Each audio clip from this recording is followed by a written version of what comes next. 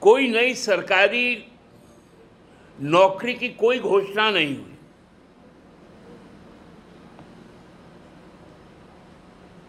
जो 30 लाख सरकारी पद खाली है, उनकी नियुक्ति के संबंध में कोई बातें नहीं। बातें क्या हुई? अगले पाँच वर्षों तक एक करोड़ युवाओं को, जो बड़ी प्राइवेट कंपनियाँ हैं, उसमें पाँच हज़ार के वेतनमान पर अस्थायी नौकरी दी जाएगी। मतलब प्रति वर्ष 20 लाख नौजवानों को ही पाँच हज़ार की नौकरी होगी। जिसमें आईआईटी से पढ़े हुए जो इंजीनियर हैं उनको भी पाँच हज़ार की नौ, नौकरी दी जाएगी। जो आईटीआई से पढ़े हैं उनको भी पाँच हज़ार की नौकरी। ये बजट है।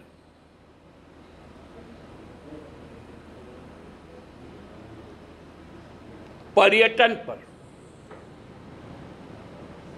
उसमें कितने रोज़गार सृजन होंगे उसकी कोई परिकल्पना नहीं की गई।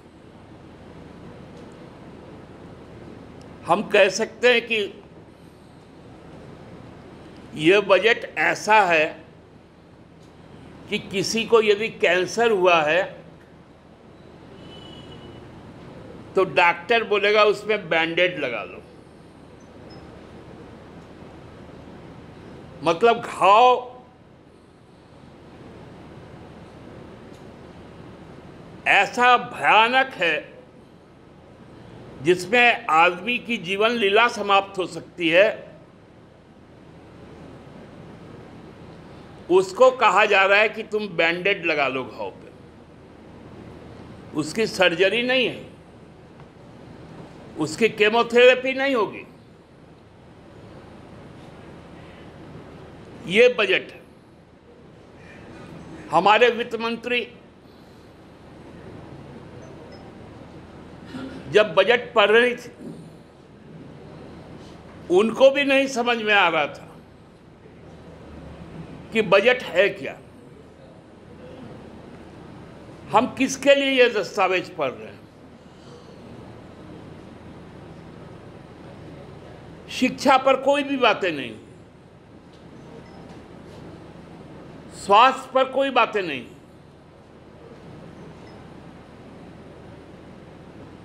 इलाज महँगा होगा, सोना सस्ता होगा। लोगों को कहा गया, ज़्यादा से ज़्यादा मोबाइल खरीदिए। और यदि एक मोबाइल है तो चार चार्जर खरीदिए, क्योंकि उसमें दाम घटा दिया गया। महँगाई पर कोई बातें नहीं।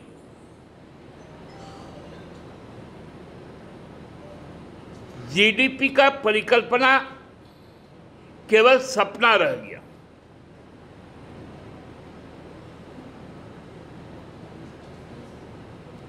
मिडिल क्लास जो मध्यम आय वर्ग के लोग हैं, जो थोड़ा बहुत बचत करते थे कहीं शेयर में लगाते थे, कहीं म्यूचुअल फंड में लगाते थे, उनको नसीहत दी गई कि ऐसा मत करें। बाज़ार के हालात ठीक नहीं, आपके पैसे डूब जाएँगे हमसे जुड़े रहने के लिए हमारे YouTube चैनल को सब्सक्राइब करें और नई वीडियो की नोटिफिकेशन के लिए बेल आइकॉन को दबाएँ। अगर आप ये वीडियो Facebook पर देख रहे हैं तो लाइक ज़रूर करें और ज़्यादा से ज़्यादा शेयर करें धन्यवाद